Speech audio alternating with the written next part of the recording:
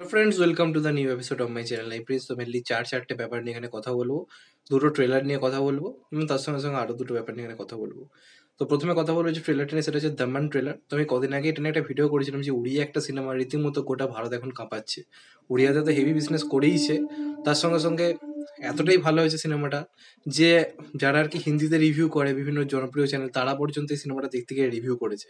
যেমনভাবে কান্টারা, কন্নড় ইন্ডাস্ট্রিতে একটা পুরো আলোচিত সিনেমায় পরিণত হয়ে একটা হিউজ বিজনেস করেছিল, তেমনভাবে উড়িয়া ইন্ডাস্ট্রিতে এই সিনেমাটা কিন্তু একটা আলাদা মাইলস্টোন এনে দিয়েছে। এবং কোথাও গিয়ে উড়িয়ার যারা দর্শক, তাদের কাছে কিন্তু এই দিনগুলো খুবই স্পেশাল একটা দিন। তো তারই মধ্যে বড় খবর যেটা হচ্ছে, দামান সিনেমাটা হিন্দি ডাবে রিলিজ হতে চলেছে।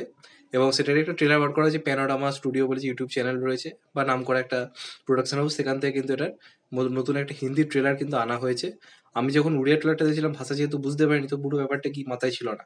কিন্তু ট্রেলারটা দেখে আমি রীতিমতো ছিটকে গেছি।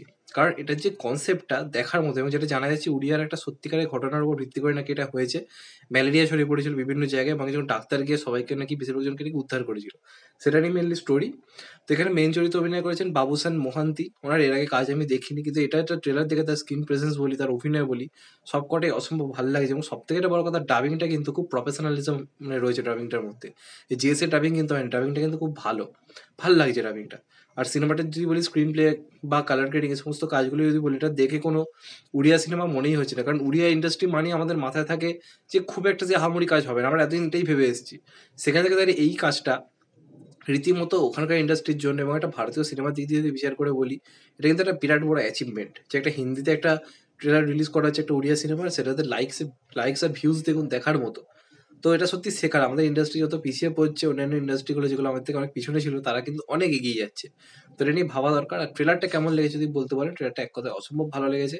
যারা দেখুন, অবশ্যই গিয়ে দেখে আসতে পারো। কথা ইচ্ছি ভালো লাগবে এই ট্রেলারটা সেকেন্ড আরেকটা ট্রেলার নিয়ে কথা বলব, সেটা হচ্ছে ফার্জি ট্রেলার এটা সাইদ কাপুরের প্রথম ওটিটিতে কাজ হতে চলেছে। এখানে সাইদ কাপুর আর বিজয় সেতুপতিকে আমরা একসঙ্গে দেখতে পাবো। এবং এই যে সিনেমাটা, এই সিনেমাটা মেনলি যেটা হতে চলেছে সেটা হচ্ছে, তো এই যে সিরিজটা নিয়ে অনেকদিন আগে থেকেই কথাবার্তা হচ্ছিল এবং এতদিন পর ট্রেলার এলো মেনলি কালকে এসেছিল, কালকে আমাকে রিভিউ করা সম্ভব হয়ে ওঠেনি। তো প্রথম কথা, সাইদ কাপুর ভার্সেস বিজয় সেতুপতি, এই যে কম্বিনেশনটা মারাত্মক ভালো হয়েছে। দুজনই দুদিক থেকে মানে তাদের দুজনকে দেখি সত্যি ভালো লাগছে। দুটো ক্যারেক্টারেরই যে সোয়াগটা, একজন রীতিমতো একটা, কি বলব, একটা সে কি বলব কারোর কথা মানে না, নিজের মতো করে চলে, নিজের লাইফ নিজের মতো করে লিড করব। আর একদিকে একটা দাপুটে পুলিশ অফিসার যে ওকে ধরার জন্য রীতিমতো বদ্ধপরিকর। এই যে দুটো কম্বিনেশনটা দারুণ হচ্ছে কারণ দুজনেই তুখর অভিনেতা, আমরা সবাই জানি। তো স্টোরিটা দেখে এটা বোঝা যাচ্ছে, এখানে সাইদ কাপুর টাকার পেছনে রীতিমতো ছুটছে এবং সেই লোভের লোভ থেকেই সে রীতিমতো নকল টাকা তৈরি করা স্টার্ট করেছে এবং সেটাকে একটা বড় ব্র্যান্ডে সে পরিণত করছে আস্তে আস্তে। এবার এটা সম্বন্ধে জানতে পেরেছে হচ্ছে বিজয় সেতুপতি, সে আর তার টিম মিলে আর কি একে আটকাবার চেষ্টা করছে, ধরার চেষ্টা করছে। এবার কার কে কার বুদ্ধির জোরে এগিয়ে থাকবে তাই নিয়ে হচ্ছে গল্প। খুবই চেনা ছক, এরকম ধরনের স্টোরি এর আগে হয়নি তা না কিন্তু এরা যেভাবে জিনিসটাকে এক্সিকিউট করেছে প্লাস রাজান ডিকে যেহেতু ডাইরেক্টর কাজের কোয়ালিটি আলাদা লেভেলের হবে। তো ট্রেলারটা কিন্তু বেশ ইন্টারেস্টিং হয়েছে। ট্রেলারের কাটিং থেকে শুরু করে সবকিছুই বেশ ভালো হয়েছে। ট্রেলারে যে বিজিএম রয়েছে দেখার মতো। এবং অনেকদিন পর কোনো সিরিজের ট্রেলার দেখে সত্যি ভালো লাগল। তো আমি কিন্তু এই সিরিজটা নিয়ে খুব এক্সাইটেড আমার এমনিতে অ্যামাজন প্রাইমে এখন সাবস্ক্রিপশন নেওয়া নেই।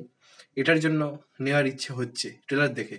তো সে মানে বুঝতেই পারছ নিশ্চয়ই ট্রেলার ভালো হয়েছে। তো সত্যি কথা তাদের ট্রেলারটা কিন্তু আমার আউটস্ট্যান্ডিং লেগেছে। তোমাদের কেমন লেগেছে অবশ্যই জানি তারপর যেটা নিয়ে কথা বলব সেটা হচ্ছে বুর্জ খালিফাতে পাঠানের ট্রেলার কিন্তু আজকে দেখানো হয়েছে বা হবে সম্ভবত। এখন হয়তো দেখানো হয়নি, কিন্তু কালকে থেকে খবরটা ছড়িয়ে পড়েছিল। তো এটা কিন্তু একটা বিরাট বড় অ্যাচিভমেন্ট মানে দেশের বাইরে শাহরুখ খানের জনপ্রিয়তা কতটা সেটা কিন্তু এই জিনিসগুলো সত্যি প্রমাণ করে দিচ্ছে। এবং আজকে শাহরুখ খানকে নিয়ে কিছু ভারতীয়রা প্রচুর খিল্লি করছে, সে খান বলে। আজকে ভাবুন তো একটা খানের সিনেমায় কিন্তু বিশ্বের একটা বিশেষ জায়গাতে বুর্জ খালিফাতে একটা ভারতীয় সিনেমাকে রিপ্রেজেন্ট করছে। কার জন্য? এই মানুষটার জন্যই তো। তখন তো আপনারা সেটা নিয়ে বলতে আসছেন না যে মানুষটার এই অ্যাচিভমেন্টটা ভারতীয় সিনেমাকে কতটা সুন্দর জায়গায় রিপ্রেজেন্ট করছে। একটা ভারতীয় সিনেমার টিকিট জার্মানিতে এক সেকেন্ডের মধ্যে সমস্ত টিকিট বিক্রি হয়ে যাচ্ছে। এই জিনিসগুলো নিয়ে কথাবার্তা হচ্ছে না। তো এগুলো কিন্তু বিরাট বড় অ্যাচিভমেন্ট তো বুর্জ খালিফাতে একটা এত মানে বিখ্যাত একটা জায়গাতে আজ একটা ভারতীয় সিনেমার ট্রেলার কিন্তু হাজার হাজার দর্শকের সামনে কিন্তু দেখানো হয়েছে বা হবে। আমি যখন ভিডিও করছি, হয়তো দেখানো হচ্ছে। তো এটা আমার কাছে একটা বিরাট বড় অ্যাচিভমেন্ট আমি ব্যাপারটা শুনে খুব খুশি হয়েছি।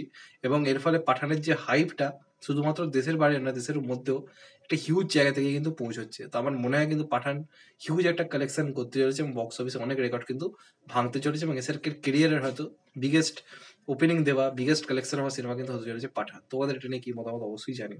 আর লাস্ট যেটা নিয়ে কথা বলো সেটা হচ্ছে অঙ্কুশ দাকে নিয়ে। অঙ্কুশ দার সিরিজ শিকারপুর, সেটা একটা বড় রেকর্ড তৈরি করেছে। বলে, তারপরে অঙ্কুশ দার একটা, এটা হিউজ রেকর্ড তার কেরিয়ারের দিক দিয়ে বিচার করলে। মানে আমরা দেখি সিনেমায় একটা সিনেমা কত বক্স অফিস কালেকশন করেছে, তার উপর অনেক কিছু ডিপেন্ড হয়। আর একটা জিনিস যেটা ওটিটিতে আছে, সেটা যে কত লোক দেখছে বা কত ওয়াচ টাইম হচ্ছে, সেটা কিন্তু একটা বিরাট ব্যাপার। মানে কালেকশনের মতোই। তো সেখানে দাঁড়িয়ে বলতে গেলে শিকারপুর অলরেডি জি ফাইভে যে কটা শো রয়েছে, হিন্দি, বাংলা মিলিয়ে, ওখানকার বিভিন্ন তো ইন্ডাস্ট্রির ওখানে সিরিজ আছে, সেই সব সিরিজ মিলিয়ে কিন্তু শিকারপুর নাম্বার টুতে ট্রেন্ডিং করছিল। যেটা প্রথম কথা একটা বড় অ্যাচিভমেন্ট একটা বাংলা সিরিজ অতগুলো জিনিসের মাঝে দু নম্বরে ছিল, ওটা প্রথম কথা একটা বড় ব্যাপার। সেকেন্ডলি হচ্ছে, এটা একটা হিউজ রেকর্ড ক্রিয়েট করেছে, সেটা হচ্ছে এটাই মাত্র এই যে যে কটা দিন এটা স্ট্রিমিং হয়েছে, তার মধ্যে কুড়ি মিলিয়ন মানে ওয়াচ টাইম হয়েছে। মানে কুড়ি মিলিয়ন মিনিট লোকে দেখেছে, ভাবতে পারছেন? এটাকে বলে অ্যাচিভমেন্ট তার মানে কত পরিমাণ লোক এটা দেখেছে, তার মানে একবার জাস্ট আইডিয়া করুন। তো এটা কিন্তু একটা বড় অ্যাচিভমেন্ট অঙ্কুশের কেরিয়ারের জন্য এবং এই যে ভালো ভালো সিরিজ করলে কি একটা অভিনেতাকে রীতিমতো আলোচনা হয়? সারা ফেসবুক জুড়ে কিন্তু অঙ্কুশকে নিয়ে আলোচনা হচ্ছে যেমনটা বাংলাদেশে চঞ্চল চৌধুরীকে নিয়ে হয়। তো এটা কিন্তু আমাদের কাছে একটা বড় অ্যাচিভমেন্ট যে আমাদের এখানকার একজন অভিনেতা যে মেনলি কমার্শিয়াল স্টার সে একটা এমন চরিত্র অভিনয় করল যে ক্যারেক্টার অন্য কাউকে ভাবা যায় এবং অঙ্কুশ ওটাই চেয়েছিল। সেই জিনিসটা কিন্তু সত্যি হচ্ছে এবং লোকে তাকে পছন্দ করেছে এবং বহুদিন পর একটা সিরিজের এই জনপ্রিয়তা দেখে সত্যি ভালো লাগছে যেখানে একজন কমার্শিয়াল স্টার রয়েছে। তো আমার মনে হলো এটা নিয়ে কথা বলা দরকার? যে কারণে বললাম তোমাদের এটা নিয়ে কি মনে হয়? কমেন্ট করে জানা আর যদি চ্যানেলটা নতুন হয় চ্যানেলটা সাবস্ক্রাইব করে দেন গেট দ্য বেল আইকন তো ভালো থেকো, সুস্থ থেকো টেক কেয়ার নমস্কার, আবার দেখা হবে তো ভাই টেক কেয়ার